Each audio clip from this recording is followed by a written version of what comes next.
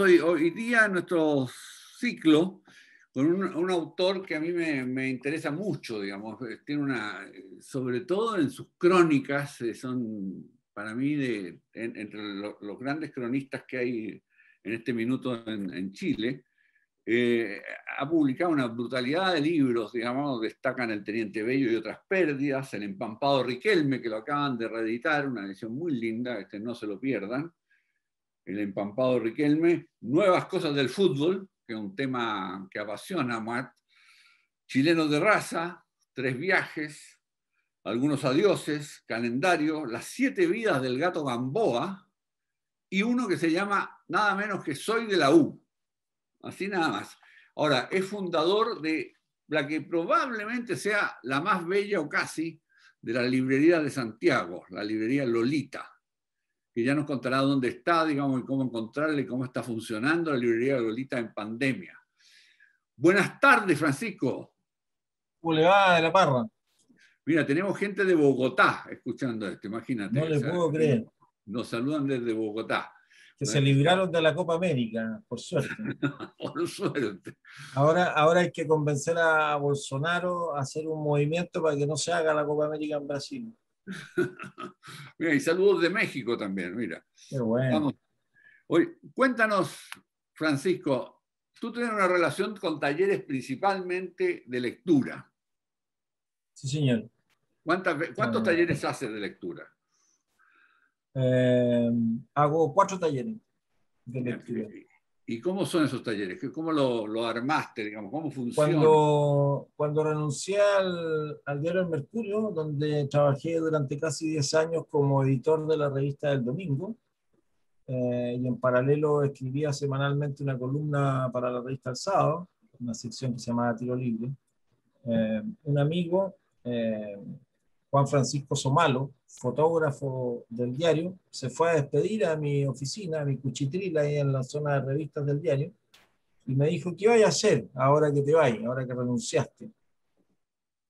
Le dije que no tenía idea, que ya tenía tiempo para pensar un poco en, qué es lo que, lo que podía hacer, eh, que estaba imaginando la posibilidad de hacer algunas clases de escritura eh, en la universidad que me habían estado preguntando eh, y en ese momento me dijo, eh, ¿y por qué no, no hacís talleres literarios? Me dijo.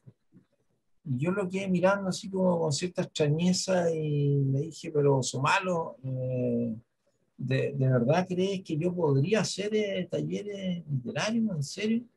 Pero ¿por qué no? Digamos, me dijo, si, si eh, eh, el mundo del libro, el, significado del libro, el valor del libro, te encanta desde todo punto de vista. Te gusta leerlo, te gusta editarlo, te gusta escribirlo, te gusta pensar en ello, eh, te gusta atesorarlo, te gusta ir a las librerías, te gusta ir a las bibliotecas. te has pasado en eso los últimos, no sé, 30 años. Es decir, si hubiera que identificar una pasión en tu vida, eh, aparte de la U y, aparte de tus afectos y de tus amores, eh, los libros. Y entonces me quedó dando vuelta lo que dijo Somalo. Yo como que al principio no confiaba en, en, ese momento en la posibilidad de pensar en, en algo como eso. Y, y, le agradezco tanto que me haya inoculado ese bicho, digamos, ¿eh? esa, esa como porque a poco andar eh, empecé a ver, bueno, dónde lo hago, qué puedo hacer, cómo lo convoco, y ahí conté con la generosidad de mucha gente cercana, incluso en el mismo diario eh, me ofrecieron eh, publicar en la revista El Sábado, donde yo escribía esta columna, unas pequeñas como caluguitas anunciando un taller como de, el primer taller que hice, que fue, y después otra gente en el Café Literario de Providencia, me ofreció incluso en forma gratuita poder disponer de, de, la, de, una sala para albergar y recibir a esos potenciales talleristas.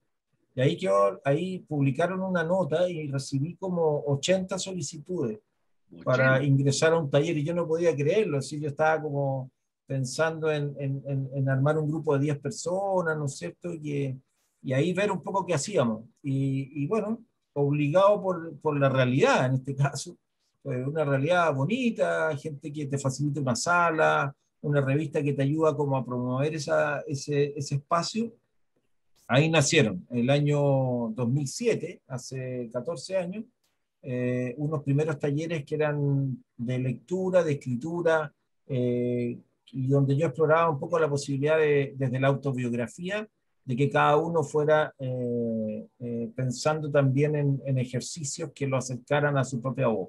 Y así nacieron, así nacieron. Entonces, ¿cómo han cambiado? Sí, muchísimo. Han ido modificándose en el tiempo y, y hoy día hago cuatro talleres de lectura desde hace unos yo no sé, puede que me equivoque, aquí veo en la pantalla a un par de talleristas míos que seguramente van a desmentir lo que digo si es que no lo he chunto, pero, pero yo creo que hace unos 10 años por lo menos, o 11, solo hago talleres de lectura y desde hace unos 3 años eh, los cuatro grupos que tengo eh, nos reunimos quincenalmente, es decir, tenemos dos sesiones al mes, de marzo a diciembre. Y, y, yo, por ejemplo, en noviembre o diciembre del año pasado, les entrego el plan lector que les propongo para el año que viene. Y como que mi gran soberanía de la parra es eh, elegir los libros que leemos eh, y después ya cada uno se apaña ahí, ¿no es cierto? Y, y, y, se conecta o no se conecta, pero, pero en eso estamos, cuatro talleres de lectura, un libro cada 15 días, de marzo a diciembre, y por lo tanto leemos apenas 20 libros al año por temporada. ¿Y, qué libros están leyendo en este minuto, digamos? Eh, ¿Con qué libros parte, partiste el taller? ¿Qué, es lo que eh, están tus inquietudes? Sí, por ejemplo, dejé separados algunos de los últimos que hemos estado leyendo, los voy a ir mostrando como me dijeron que tenía que hacer. Eh, por ejemplo, acabamos de leer esta, esta novela. No sé si la alcanzan a ver, de, un escritor joven vietnamita que se llama Ocean Vuong, eh, vietnamita porque nació en Vietnam, pero se radicó desde muy niño en Estados Unidos junto a su madre y a su abuela. Es un poeta joven, tiene poco más de 30 años, y es un libro eh, alucinante, es decir, eh, es como un poema, se, llama, se llama En la tierra somos fugazmente grandiosos. Eh, tiene una traducción, el mismo nombre de un poema suyo que publicó antes, que se llama En la tierra somos eh, brevemente sé, felices, eh, o, o maravillosos, no sé. pero, pero ese, ese es el último que leímos. Antes de ese, habíamos leído una novela de Colson Whitehead, otro escritor eh, norteamericano, que se llama Los chicos de la níquel, eh, que también un poco a propósito de, la discriminación, ah, de la supremacía blanca en Estados Unidos, una novela espectacular. Eh, alguna vez leímos antes de él, de Whitehead, el ferrocarril subterráneo. Sí, que lo hicieron serie, que lo hicieron sí, y, exactamente. Y, por ejemplo, este año vamos a leer a, Daniela Catrileo, eh, Piñén. Es un eh, lindo libro Muy lindo. Estamos ahora leyendo eh, El Gambito de Dama. ah, mira. Es una novela muy entretenida, además, y muy atractiva. Y una novela que la gente conoce por la serie en, en, en Netflix, pero, pero en realidad es una novela que tiene 40 años, ¿ah? ojo. Eh, ahora en las próximas semanas, no sé cuándo viene, viene El consentimiento de Vanessa Springora, no sé si la conoce, una, una francesa. Es un libro autobiográfico, casi podría decirse de memorias, eh, rudo, bastante duro, respecto de una experiencia, ¿no es cierto?, de abuso eh, de su pareja, que era un escritor mucho mayor que ella, es muy interesante también, un tema muy contemporáneo. Eh, nada, pues así te, te empiezo a mostrar cosas como sueltas, ¿no es cierto?, que, estamos, que estamos leyendo este año. Eh, y que yo diría lo lindo, lo, que me gustaría detenerme es como lo que me llega a entretener, que es trabajar como el, el plan lector, así como, ah, me imagino que en, los profesores, los departamentos de lenguaje ah, de los colegios, o los profesores universitarios, digamos, que van armando su plan de lectura. Yo este año, una de, mis ocupaciones importantes es trabajar en el plan lector del próximo año. Del 2022. Y eso, en eso, a eso me dedico una parte no menor de mi tiempo. y, la verdad es que me, me entretiene muchísimo. Es decir, estaba aquí anotando en mi cuaderno amarillo del taller, por ejemplo, te podría decir, así como ya confirmado, confirmado, que el próximo año vamos a leer de Selva Almada, eh, una escritora argentina que, que, me gusta mucho, una novela que se llama No es un río. Por poner tremenda esa novela, tremenda. Tremenda. Y de Federico Falcó, otro escritor argentino, vamos a leer una que se llama Los Llanos, ¿ah? que publicó... Es una melancolía fantástica esa novela. Y lo otro, lo otro que es una noticia para todo aquel que ama eh, la lectura, los libros y todo, es que este libro caro, pero hermoso, que se llama el, infinito, el infinito en un junco de Irene Vallejo, que de verdad yo creo que es un ensayo sobre el, el, valor del libro, ¿no es cierto?, a lo largo de la historia, tan bien escrito, tan bien documentado. La buena noticia es que este libro, que hoy día vale como 37 lucas y que es de ciruela y que es una, una preciosura, eh, va a salir en el formato de bolsillo. Creo que por ahí, por eh, julio, julio, yo creo que en uno o dos meses más va a estar ya disponible. Eh, va a costar, ponte tú, 15 lucas. Y por lo tanto, como yo siento que todo aquel que ama los libros, la lectura, tiene que pasar por el infinito en un junco, ya lo incluí también como lectura para el próximo año, porque yo creo que es un libro definitivo, es como esos libros que tú sentís que te van a acompañar siempre, eh, que siempre los puedes volver a consultar, que siempre te van a, inspirar además o te van a, llevar a partir de la investigación que hace Irene Vallejo y de lo que ella va poniendo ahí sobre la mesa, a tus propias lecturas, a tu propia historia eh, y a conectarte con, con, algo que es tan dinámico, porque lo que, lo que nos movía cuando teníamos 20 ya no nos moviliza cuando tenemos 30 o 40, pero sin embargo hay una borra ahí, ¿no es cierto?, que, que permanece y que yo creo que es lo que hace tan, tan bello y tan insustituible y tan eh, alimenticio eh, el acto de, leer. Si tú me preguntáis cuál es tu actividad principal en la vida hoy, eh, así como de oficio, te diría que es leer y leer para escribir también. Es decir, eh, eh, como que no entiendo la escritura si no hay un, tiempo muy significativo de lectura, eh, de silencio y de concentración. Y compartirlo a través de talleres de lectura me parece un regalo, un privilegio, y por eso a Somalo le prendo una vela todos los días de mi vida.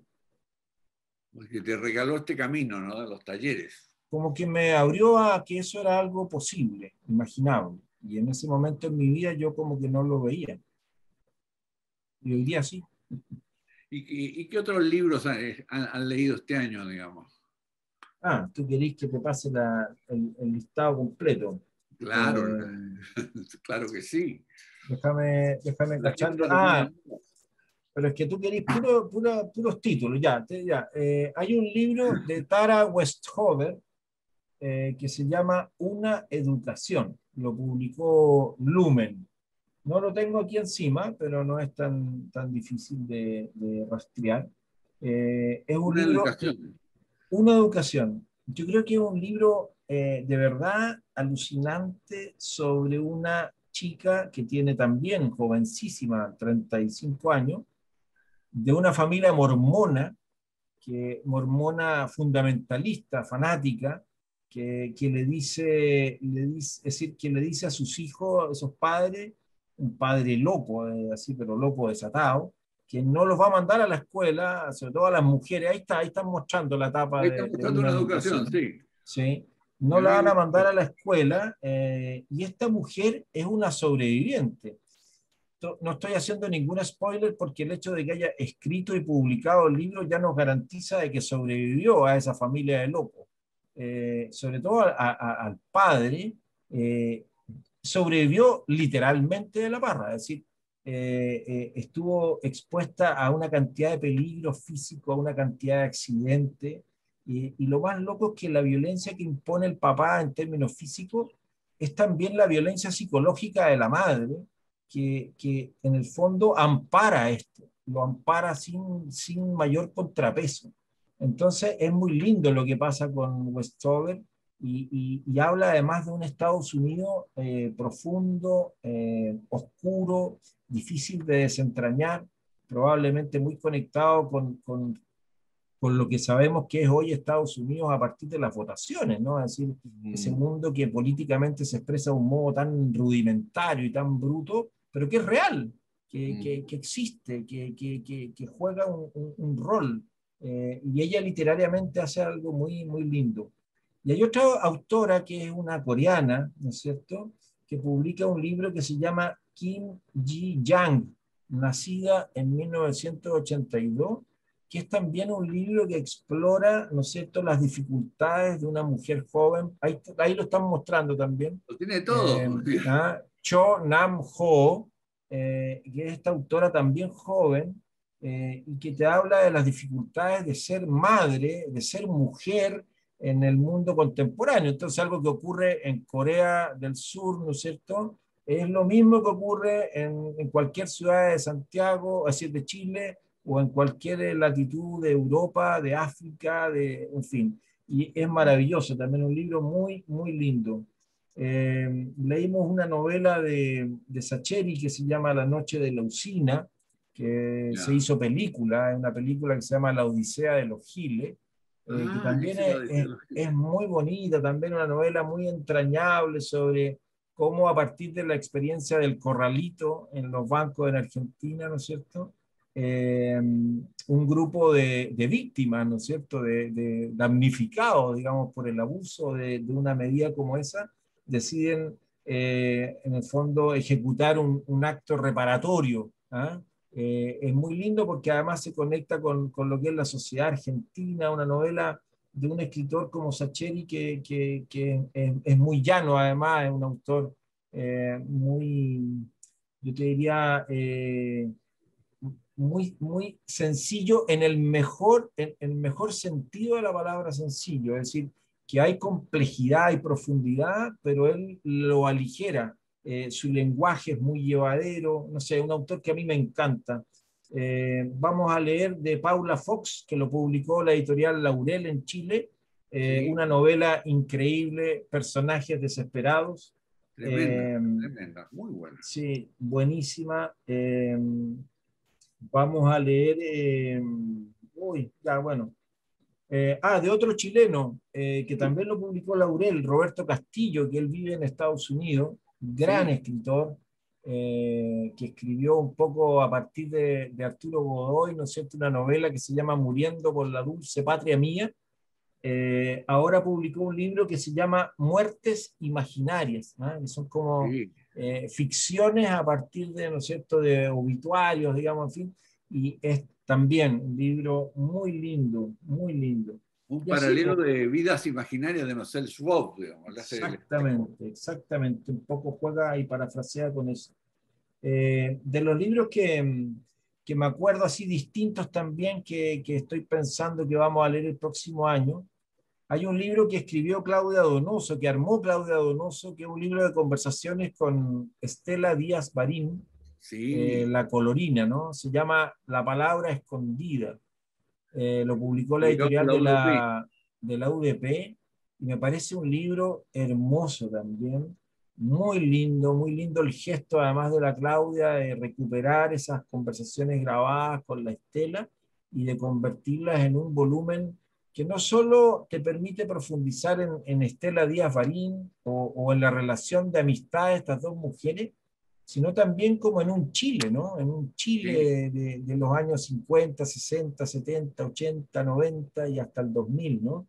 Eh, y de una mujer realmente eh, apasionante de, de, conocer, como la Colorina. Eh, muy lindo libro.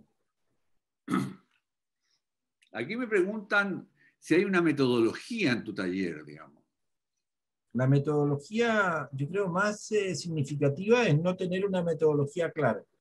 Eh, y, y, no, y no repetir nunca nada, es decir, eh, y, y, no seguir ninguna pauta. ¿Y por qué te digo esto? Porque yo creo que, a ver, voy a, voy a, voy a recapitular. quizás la primera parte de la metodología pudiera ser eh, la selección de los libros, es decir, invertir una energía significativa en dar, en, no, en no confiar demasiado como en, en, la pura intuición, sino que a partir de esa primera intuición ir eh, haciendo el ejercicio de leer, leer, leer y separar y pensar en cuáles son los libros que más, creo yo, pueden ayudarnos a tener una conversación. Eh, y, en ese ejercicio creo que me importa mucho la diversidad, la diversidad de voces, la diversidad de miradas, eh, pero hay un pie que yo creo que es un poco forzado, ¿no? Y que es que el libro me gusta, es decir, que, me, que, me, importe, que me, que me interese, que me mueva. Si me mueve, me va a mover por distintas razones, voy a tratar de que en el fondo toquemos teclas distintas, es decir, eh, y que dentro de esas teclas distintas que toquemos, eh, el libro nos sirva, nos ayude, nos facilite un encuentro lector bello, eh, mm. potente, en donde, porque al final lo que pasa en una rueda de lectura, y yo creo que nos pasa a todos los que vivimos un poco cerca de esta atmósfera, ¿no? Es que tú cuando lees y, además dices lo que lees y haces silencio para escuchar lo que el otro leyó, te estás revelando entero, es decir, te estás, te estás jugando, te estás entregando. Y ese gesto en realidad se tiene que hacer en un espacio de confianza, se tiene que hacer en un espacio de respeto, porque al final ya no, es decir, que espero, y yo creo que ya después de 14 años y de tantos años que llevamos juntos haciendo este ejercicio, eh, ya no hay impostura, es decir, nadie está ahí para pa que, oye, mira este gallo que, que, que sabe, o este gallo que, que, que es inteligente para sus análisis, oye, este otro, esta, esta galla que mira, mira toda la cultura que tiene para atrás de lectura y las pone sobre la mesa. ¿Sabéis qué? No, es decir, es decir, cada uno es quien es y lo más hermoso que puede suceder en esa rueda es que eso se perciba, ¿no? Que eso ocurra, que eso suceda. Esto es como la rosa sin por qué, por decir, eh, eh, es, bella porque, porque es bella nomás. Y, y, y, si vamos a explicar por qué es bella, se jodió la belleza. Es decir, la cosa, la cosa tiene, que, tiene que ser. Y si no es, tampoco la puedes inventar, es decir, tampoco la puedes impostar o, o, o, imponer, ¿no es cierto?, o decretar. Entonces, eh, creo que lo más hermoso de esta experiencia, al final, es que se construye de manera muy silenciosa, de manera muy paciente, una comunidad eh, lectora que ama eh, eh, a los libros y ese amor no tiene que andarlo declarando y levantando pancartas, sino que simplemente lo que hace es vivirlo, vivirlo, compartirlo, ponerlo en común con sus compañeros y en ese sentido hay una horizontalidad, ¿no es cierto?, en nuestra experiencia lectora que yo creo que yo también eh, promuevo por mi carácter, ¿no? Yo no soy una persona, tú me preguntabas ya antes de que empezáramos a grabar, bueno, eh, ¿cuáles son los libros que más te gustan, las autoras que más... Yo te decía, mira, no me, no me agrada mucho la cultura como del ranking, ¿no es cierto?, de los top 5, los top 10 y todas esas cosas, porque lo único que hace, creo, esa manera de aproximarse a lo que sea, no solo a los libros, es reducir, es achicar, es limitar, eh, e, es, incluso eh, ejercitar la canonización. Yo creo que a mí por lo menos me interesa exactamente el proceso contrario, así me gusta mucho más desmontar esa idea y abrirnos la posibilidad de que aquello que no teníamos idea que existía eh, empiece a habitarnos eh, y, me encanta la idea de la serendipia, ¿no es cierto? Ah, de esta idea de, de, de, este como deambular, eh, rastreando, buscando y dejándose sorprender. Eh, para que la serendipia ocurra, tú tienes que igual estar disponible, ¿no? Estar dispuesto a dejarte habitar por, por en este caso, por, por, por, libros, por autoras y autores, por temáticas, por sensibilidades, incluso por dificultades porque a mí una de las cosas que, que, yo por lo menos creo que uno va eh, cultivando en el ejercicio lector es también aceptar las dificultades, aceptar los, los no entendimientos, incluso aceptar el aburrimiento. Es decir, eh, eh, ¿en qué sentido? De que de repente te tienes que aburrir 15 páginas para que en la página 16 descubras por qué te estabas aburriendo y encuentres ahí un fogonazo que te, que te, que te, que te hace eh, levantarte, ¿ah? como eh, en sentido figurado lo digo, levantarte tu asiento y decir, chuta. Em, porque es como la vida pues, de la parra. Decir, esto es como decir, no veo más partidos de fútbol porque son malos y lentos y no sé qué. Y resulta que detrás de ese, de ese ejercicio está siempre agazapada la posibilidad de que en un córner eh, no solo haya un gol olímpico, sino la posibilidad de un gol de chilena o un destello o, incluso una jugada que no llega a ser gol, pero que valió la pena verla, valió la pena ser testigo de ella, porque esa sola experiencia es una experiencia estética, es una experiencia que te provoca un goce. Eh, y al final también me gustaría decir que, que, esa experiencia, cuando vincula lo estético con lo ético, eh, se hace eh, ya como casi imposible de superar. Y eso me pasa a mí en general con, con la experiencia artística. Y no solo hablo de, libros y de lectura. Mira, el, no te gustan los rankings, pero si uno hiciera el recorrido de tus talleres a través de estos años, tendría un ranking grande, ¿no? De cuántos, 150 libros, 140, si son 20 al año, ¿cuántos van? Ah, ¿cuántos libros hemos leído? Sí. Piensa que en los primeros años leíamos 40 libros al año. Así que nunca he sacado la cuenta, pero eh, debemos haber leído, a ver, unos 8 por 4, 300, hemos leído como unos, por lo menos unos 400 libros. Está muy bien. Eh, pero, pero, pero, pero, pero también es una suma que no sé si, si diga algo demasiado relevante tampoco, porque, porque a lo mejor bastaría a veces con, con una biblioteca de 15, 20, 25 títulos incluso, y, y, que en el ejercicio de la relectura o, o incluso de no tener un libro eh, en tu propia biblioteca, eh, esa cosa del, del, libro en movimiento que también me encanta. Es decir, piensa tú que nosotros tenemos librería hace casi siete años.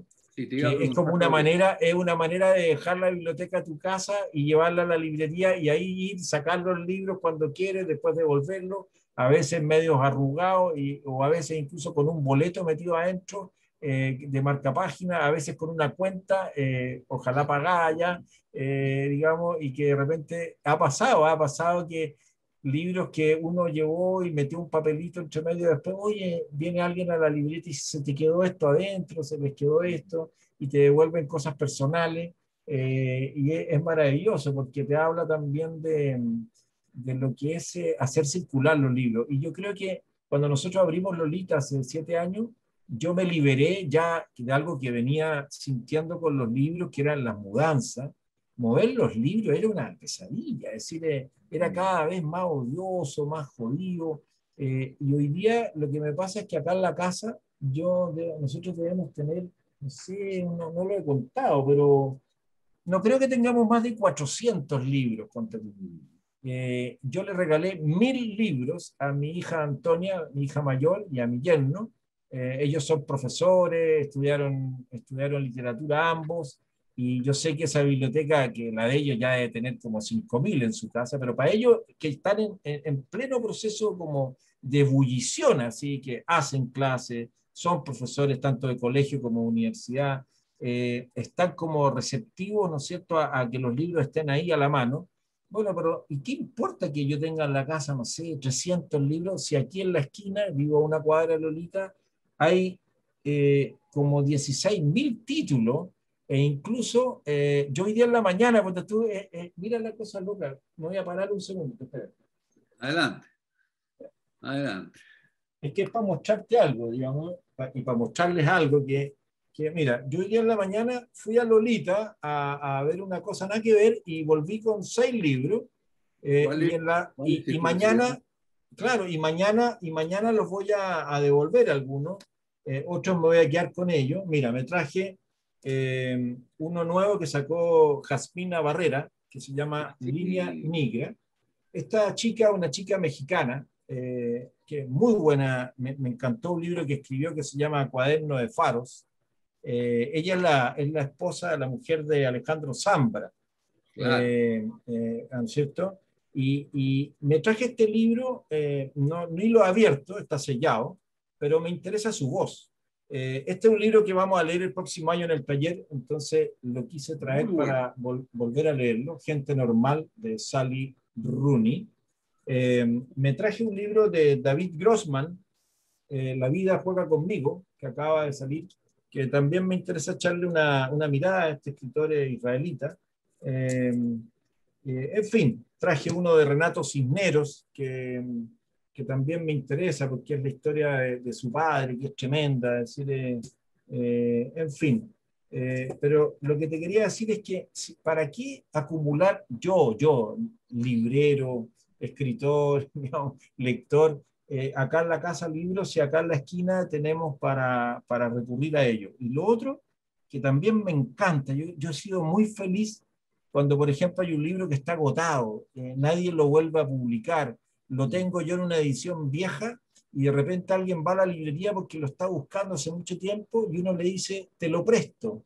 ¿ah? Y, y, y, le prestáis un libro a alguien eh, y, lo más bonito es cuando esa persona no la conoces eh, o no tienes una historia anterior con esa persona.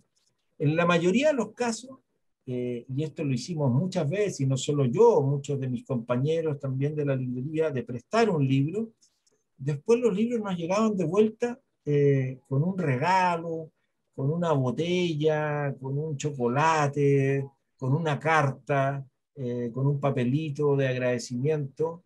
Yo encuentro que eso es lo máximo, es decir, encuentro que, que cuando, cuando eso sucede, encuentro que ahí está la magia total, digamos, de, de, lo que te decía antes, ¿no? de la comunidad lectora, porque es algo que es completamente gratuito, es decir, eh, ya, ya me encanta la idea de, de, ese momento en que lo que hay detrás, y cuando tenía una librería, la librería tiene que vivir de los libros que vende para seguir existiendo como espacio. Pero ojalá siempre tenga también un espacio eh, reservado y, intocable, inmaculado, para todos aquellos encuentros que no pasan por esa transacción, que pasan por otra cosa, pasan por el amor compartido por, por esto. Eh, y, yo en ese sentido, y por eso lo conecto con lo que tú me preguntabas de los rankings, eh, a mí lo que no me gusta de eso también es, es porque me pone en un lugar en el que yo no quiero estar. Yo no quiero estar en el lugar del que dice lo que hay que hacer y lo que no hay que hacer, lo que es mejor y lo que es peor. Eh, simplemente te puedo hablar desde mi experiencia, de lo que a mí me gusta, de lo que a mí me mueve, pero eso, eso no modifica la posibilidad de que a ti te guste otra cosa o derechamente no te guste eh, o no te toque o no te pase nada por lo que yo te estoy proponiendo.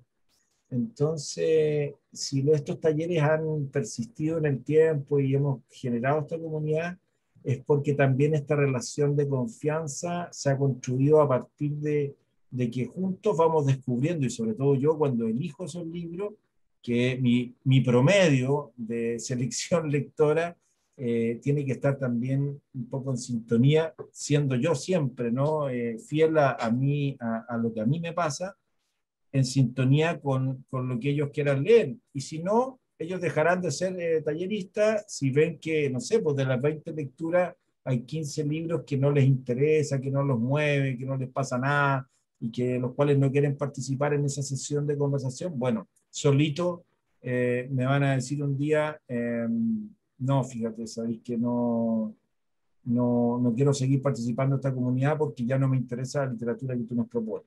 Hasta ahora, afortunadamente, eso no ha ocurrido y sigue siendo una experiencia, creo, por lo menos para mí, eh, así te diría, en esencia, eh, una experiencia luminosa que agradezco porque encuentro que es un oficio eh, bello y, que me...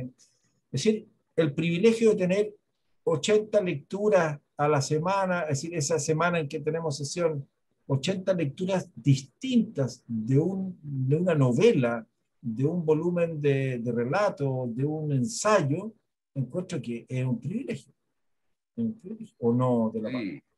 Una pregunta, en tiempos presenciales, ¿dónde se realizaba la...? En la librería. En, el, en, el, en el subterráneo de Lolita. Lolita tiene dos pisos el, primer piso que es la librería y abajo tenemos un subterráneo y en ese subterráneo eh, teníamos, teníamos eh, digo teníamos, porque de esto espero que los que están acá no me denuncien, los, mis talleristas, pero en este minuto tuvimos que modificar un poco la escena abajo, eh, justamente porque como no pueden entrar a las personas a la librería, hemos tenido que, que aumentar el espacio de acopio ¿no? de, de nuestros propios libros.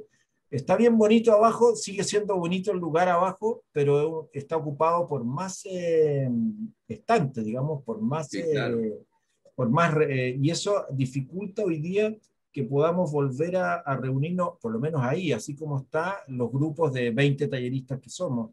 Eh, y en ese sentido, eh, no sé, me, hago preguntas en, voz alta, pero no tengo una respuesta todavía. No sé cómo va a ser el taller de lectura del futuro el día que la pandemia eh, remita y podamos volver a encontrarnos sin riesgo. creo que para eso todavía falta un tiempo pero sigo pensando que esta experiencia que descubrimos a través de, de esto que estamos haciendo acá mismo, ¿no? Eh, ha sido una experiencia eh, que es cierto que a muchos los cabrea porque pasan todo el día frente a la pantalla, no es mi caso, yo solo me conecto a la pantalla eh, en este formato cuando hago mi taller. Yo no, yo no me reúno con nadie por Zoom, como que tengo prohibido eso en mi vida, así como me carga, no, no, y si tengo la posibilidad de no hacerlo, no lo hago, ¿me entiendes? No?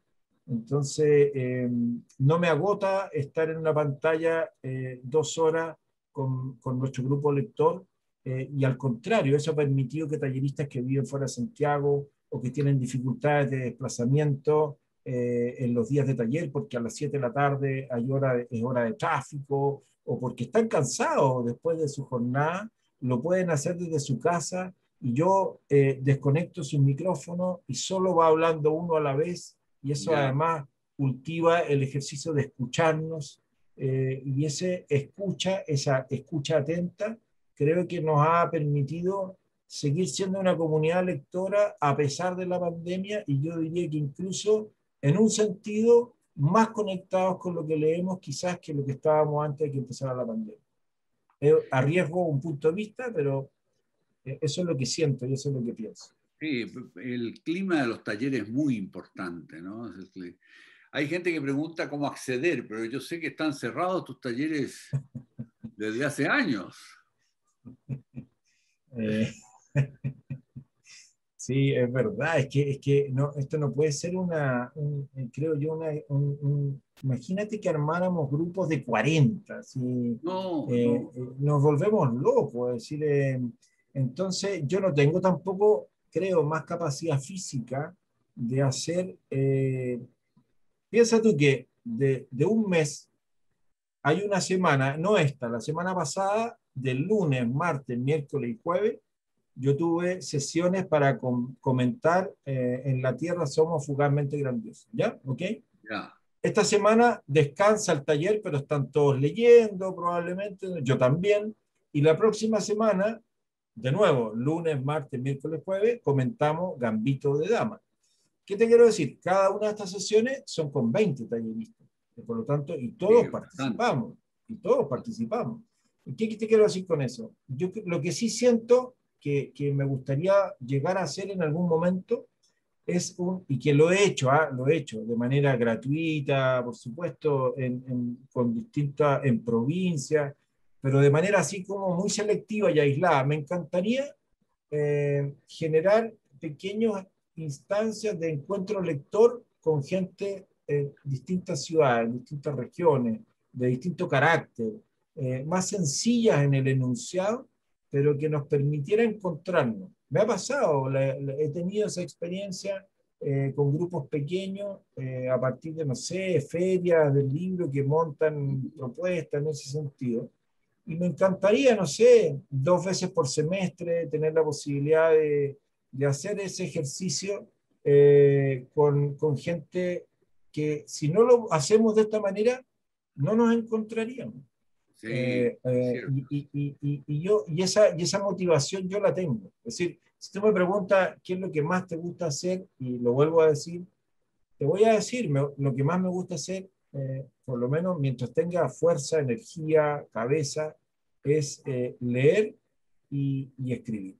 Eh, ahora, escribir, y, me cuelgo un poco de, probablemente una inquietud que tiene mucho, escribir encuentro que es un acto muy privado, muy personal, eh, muy difícil además, muy complejo, eh, que envuelve una cantidad de cosas internas, remueve mucho, y por lo tanto, hacer talleres de escritura es algo que yo no puedo hacer, no soy capaz de hacerlo, no tengo no tengo ni, ni el talento, eh, ni la energía, eh, ni el deseo de hacerlo, porque, porque, porque, porque ya con mis propios libros ya estoy eh, cubierto. No, no quiero más guerra, es decir, suficiente. No, además, hacerme, hacerme un poco corresponsable de las dificultades, de los desafíos de escritura que, que, cualquiera que decide escribir va a tener que enfrentar, es algo para lo cual yo no, yo no me siento ni capacitado ni con deseos de participar en ese proceso, porque me consume completamente en lo mío. Es decir, eh, ya eh, te contaba antes de empezar que anoche terminé eh, la primera versión ya definitiva de un libro que, que, estuve trabajando varios años, eh, un libro de conversaciones con Luis Poirot, con el fotógrafo Lucho Poirot. Eh, estuvimos cuatro años trabajando en ese libro eh, y de verdad anoche me sentí, sí sentí una felicidad, pero así no te puedes imaginar, porque llevaba un tiempo largo trabajando muy duro desde muy temprano en la mañana, de las 7 de la mañana, a veces hasta las 12 de la noche, sin parar casi, sin pausa. Eh, y te produce como un, un, nivel como de excitación, así de fascinación, poder ya empezar a entregar ese libro, soltarlo, eh, pero, pero imagínate que ese mismo proceso tuviera que vivirlo o, o, o abrirme a la posibilidad de, de, participar de los procesos de otro, es decir, mm, sería un mentiroso de mi parte si dijera que puedo ayudar a alguien en eso. Eh, no puedo, no, no, me siento capaz, no, no, eh, a lo mejor si yo no, no estuviera hoy día tan eh, conectado con mis propios proyectos también de, de escritura, capaz que tendría la energía, pero, pero no, no, no es así. yo terminé ahora el libro de conversaciones con Lucho en, en su primera ya versión definitiva, ahora viene la fase de corrección final, pero, pero ya estoy tengo ganas de, tengo ganas de, de, de, acometer un libro que también llevo 10 años trabajándolo, pero que creo que es un libro más chiquitito, más cortito, eh, y, me encantaría poder eh, sentarme y escribirlo ahora sí de una. Eh, un libro que en principio se llama El gol más largo del mundo, y que está hecho a partir, es la historia de un delirio, es decir, de, de un gol que en diciembre de este año va a cumplir 50 años que llevan celebrándolo en Rosario, es decir, gente de Rosario, Argentina, eh, pero que en realidad lo que me interesa no es lo, lo, deportivo, lo futbolístico. Lo que me interesa es cómo un grupo de fanáticos lleva 50 años eh, reuniéndose con ese mismo sujeto que además anotó el gol, que es como su prócer, ¿sí? Eh, para, para reconstruir, recrear esa escena. Y eso eh, va, a ocurrir en diciembre de este año, la, versión número 50. Y a mí me encantaría que para cuando eso ocurra, ese libro esté escrito y ojalá publicado y, y, que se llame tentativamente El gol más largo del mundo. Pero me encanta eso. Y llevo además trabajando hace muchos años una novela eh, cuyo título cuyo título eh, tentativo se llama Traidor, eh, y que me involucra a mí también como uno de los traidores de esa, de esa historia. Desde el momento que decido escribir sobre ella, soy también un traidor. Mm. y, me, y llevo también mucho tiempo en eso y me encantaría el próximo año poder dedicarme con mucha energía también a, a la escritura de, de, ese libro. Entonces, ¿de a dónde de, la parra puedo eh, tomar más energía eh, que, la, que la ya desplegada. Eh, y por eso no hago talleres de escritura, no, ni los voy a hacer nunca, yo creo, la última experiencia bonita que tuve, aparte de talleres de escritura que tuve con talleristas, que armamos un grupo especial y que algunos de ellos incluso culminó su participación publicando un libro, pero eso fue hace, como te decía, más de 10 años, eh, fue en la Universidad Católica, en la Facultad de, Literatura de la Católica, de Letras, digamos, eh, en donde me invitaron, no me acuerdo qué año, me pierdo, puede haber sido por ahí por el 2013, creo, 2013 o 2014, en 2013 yo creo, me invitaron como escritor residente y tuve que hacer dos cursos. Uno fue un curso de, de literatura y crónica, de la crónica como género literario, eh, solo para estudiantes de, de, la Católica de Letra.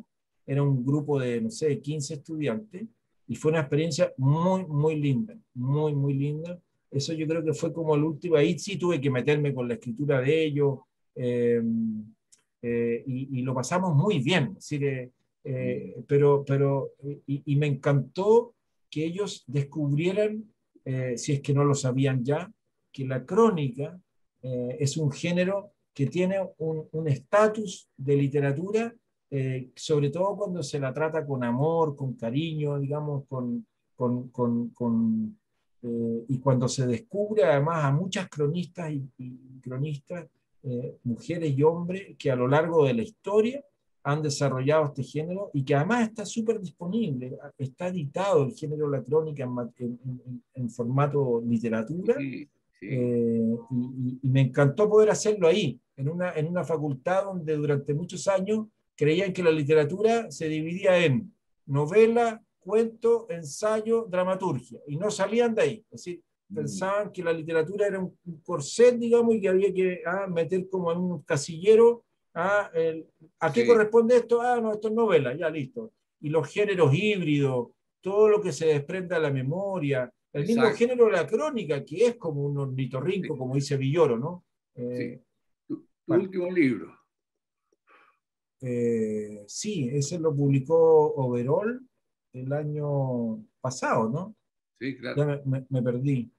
Eh, eh, sí, ese es un libro que me gusta mucho, se llama Álbum de Crónica, y, y, me detengo en, en, él sobre todo para reconocer a los editores, es decir, a, a Overall.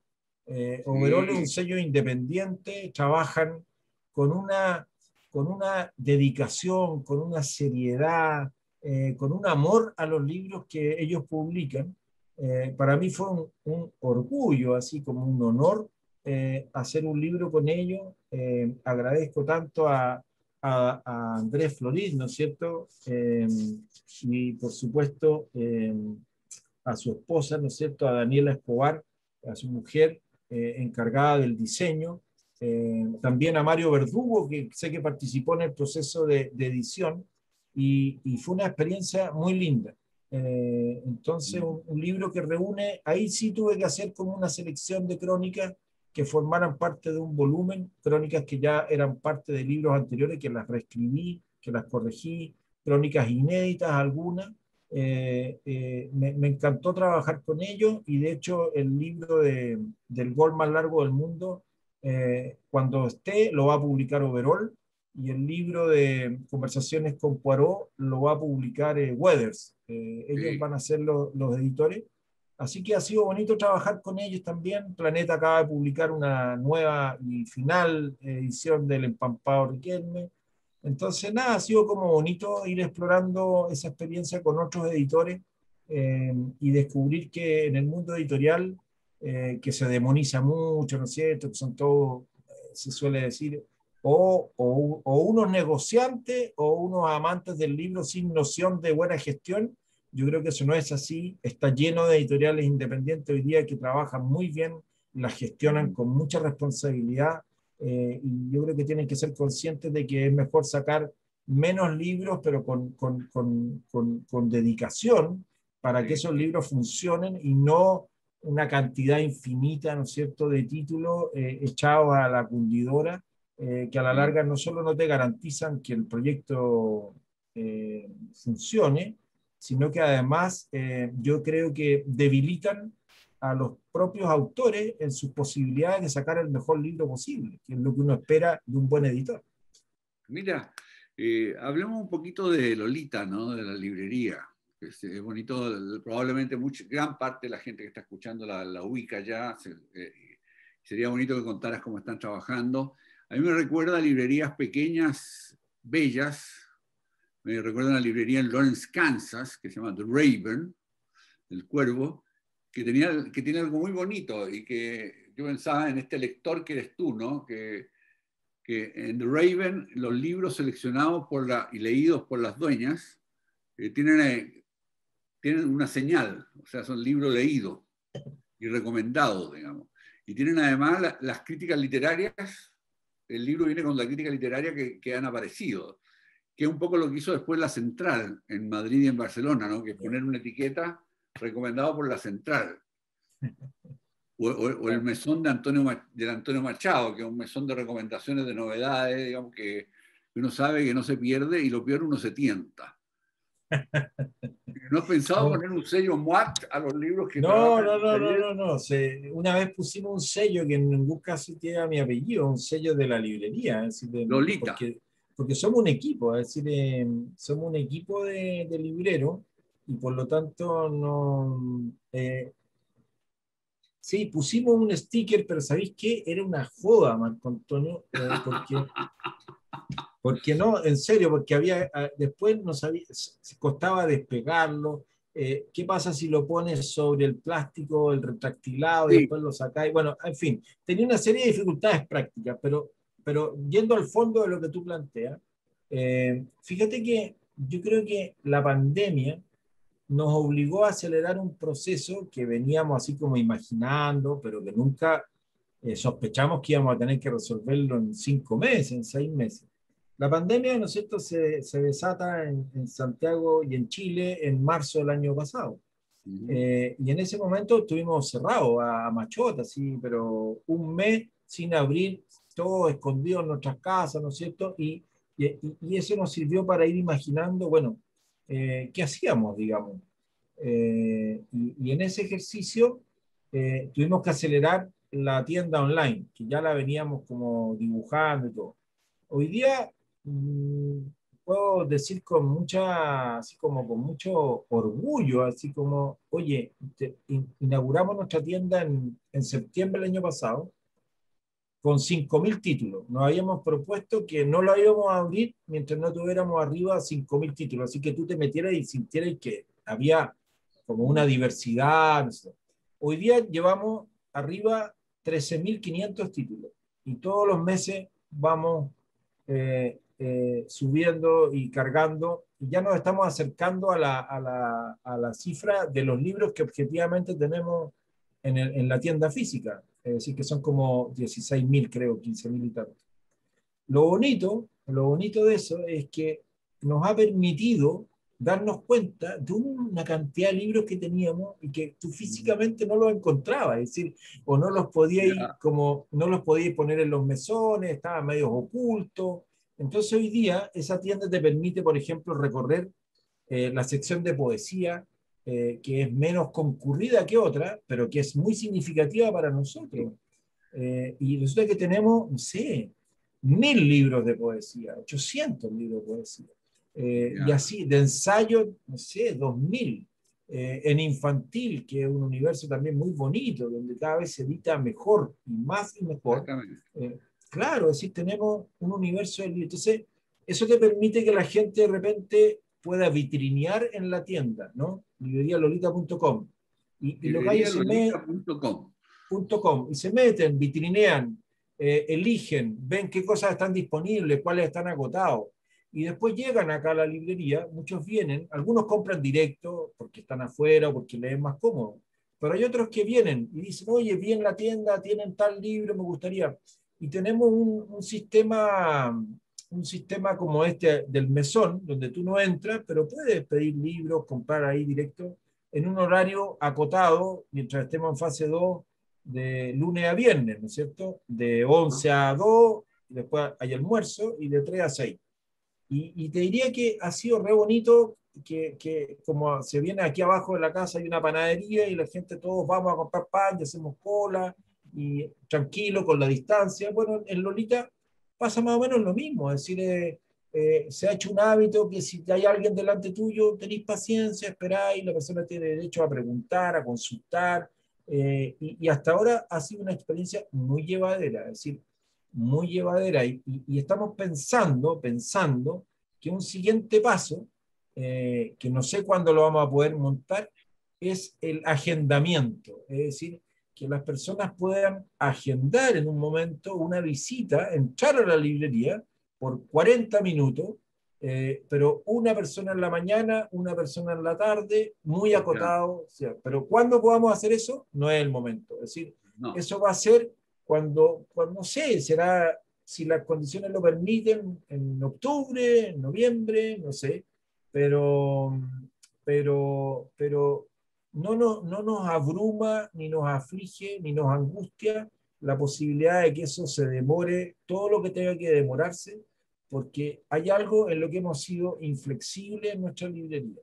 Nosotros no hemos querido exponer a nadie de los que nos visita y a nadie de los que somos parte del equipo a la posibilidad, así como a, la posibilidad de un contagio eh, en una situación como esta. Es decir, preferimos eh, diseñar cualquier otra metodología, pero no eh, lo que he visto en muchas librerías y que no lo comparto, de aforos eh, limitados, pero con circulación sin mayores restricciones. y lo encuentro, lo encuentro peligroso para los que van, peligroso para los que trabajan allí, y lo encuentro, y lo encuentro peligroso para, para, para, el, para el contexto en el que estamos. Es decir, no, no podemos perder de vista lo que está pasando en Sudamérica. Es decir, eh, la OMS, eh, así como celebra que haya habido un día sin víctimas fatales, no sé, en Reino Unido y en España, eh, del mismo modo te está diciendo, en Sudamérica está pasando, estamos metidos en una, en una, zona, ya sea por razones de hacinamiento, de dificultad económica, podemos encontrar muchísimas razones, pero no está el horno para ese bollo. Y Lolita y Lolita tiene que ser parte de esa, de esa cultura, de esa cultura como cuidadosa, de autocuidado y de cuidar a quienes en el fondo forman parte de nuestra comunidad. Entonces tú dices, pucha, me muero por entrar a la librería. Pucha, pero vieja, lo eh, no, no, no, no es el momento. No. Busquemos una manera de que la librería siga viva, pero sin que tú y nosotros, eh, en el fondo, corramos un riesgo innecesario librerialolita.com. Se nos acabó el tiempo, Francisco, y quedaron un montón de preguntas en el chat sobre la editorial, sobre todo preguntas sobre el, escribir. Uf, era como para otro, otro programa. Será en la próxima temporada. Será eh, cuando publiques y podamos recomendar tus libros. Sí, Pero claro, podemos, podemos, hablar del, del libro de, de, Lucho, de conversaciones con Lucho, que me tiene cuando, cuando salga nos juntamos. Sí, oye, muchas muchas gracias a, todos quienes se conectaron, porque finalmente en, las mismas preguntas que hacen eh, y en tener la energía y el ánimo de, escuchar, eh, queda tan de manifiesto que la comunidad de lectores eh, no, somos, no somos pocos y, nos gusta y nos importa mantenernos conectados y mantenernos reunidos. Así que yo te agradezco mucho el, el convite, de verdad. Eh, y la posibilidad de poner en común algo de la experiencia que hemos desplegado desde hace ya 14 años con los lectores y desde, no sé, pues, casi 60 desde que nací, eh, en sintonía con, con, algo tan bello como es, como es el libro, finalmente. Mira, te voy a mostrar algo antes que... ¿Qué, qué? Es que lo tenía, tiempo, pero ¿qué se te ocurrió? No, mira, mira, mira, mira. mira. ah, eres tú es que una foto que me regaló mi mamá hace un tiempo eh, y estoy leyendo Ali Baba y los 40 ladrones. Por supuesto no sé leer, estoy mirando, pero sabes que es una foto que me acompaña porque, porque me da energía, eh, me transmite una energía muy bonita y le agradezco tanto a mi vieja eh, que me haya regalado esta foto, así que siempre me acompaña aquí. buena portada.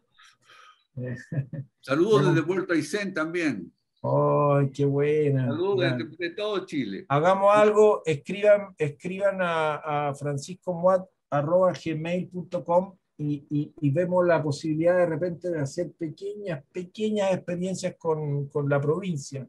Eh, así de manera, de manera virtual. Cosas chiquititas, sencillas, eh, que no supongan mayor complejidad. Y, y a la universidad, eh, a, Lorena, a ti, a todos los que hacen posible que esto suceda, muchas gracias por la energía puesta y que sigamos haciendo actividades de esta naturaleza. Estamos en eso. Gracias. Eh, bueno, en nombre de la universidad, eh, un honor tenerte en esta segunda edición de la Cátedra Siglo XXI, maestros y maestras de talleres de lectura y escritura.